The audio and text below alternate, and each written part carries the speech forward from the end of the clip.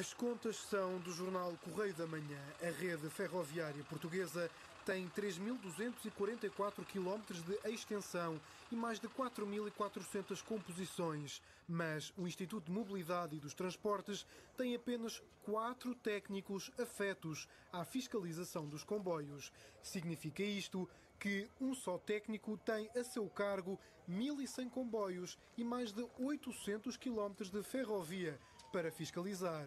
Mais, num relatório a que o Correio da Manhã teve acesso, é dito que em 2018 não foi possível realizar auditoria à aplicação do sistema de gestão e segurança das empresas ferroviárias ou das infraestruturas de Portugal.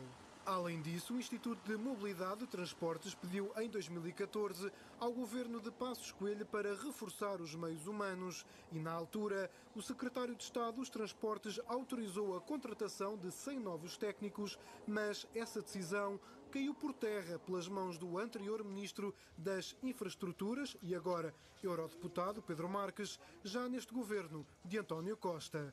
Mas os problemas não são apenas no Instituto que gere os transportes. Também o Gabinete de Investigação de Acidentes Ferroviários e Aéreos tem escassez de recursos humanos.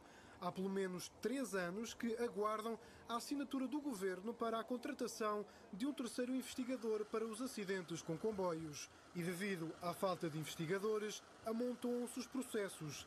Há 20 investigações de acidentes anteriores a 2011 pendentes. Alguns ocorreram há mais de 14 anos. A TVI pediu esclarecimentos sobre a falta de recursos humanos para colmatar os atrasos nas investigações, mas o Gabinete de Investigação dos Acidentes e o Instituto de Mobilidade e Transportes não responderam em tempo útil.